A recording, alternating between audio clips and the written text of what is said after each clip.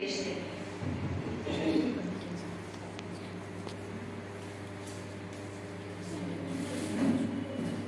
মা আমাকে যখন গর্ভে ধারণ করেছিলেন, তখন ভারতবর্ষ স্বাধীন হয়। স্বাধীনতার পরের বছর আমার জন্ম।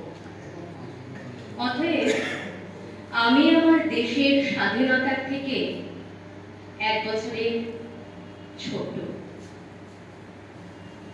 আমি যখন ভূমিষ্ঠ হয়েছিলাম, আমার বাবা স্বল্প বেতনের শিক্ষক ছিলেন।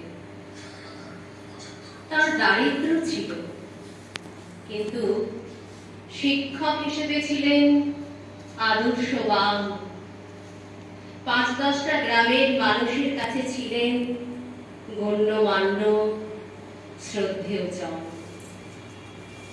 এসব আমি বড় হয়ে শুনেছি। গর্ভধারিণী মা এবং জন্মদাতা পিতা দুজনের কেউই আজ পাশে নেই। কিন্তু আছে। এক বিশাল ভূখণ্ড।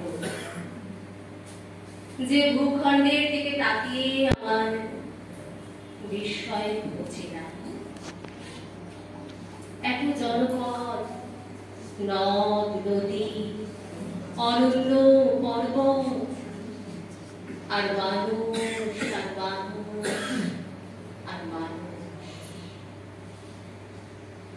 আমার জন্মের আগের এবং জন্মের পরের ভারতবর্ষ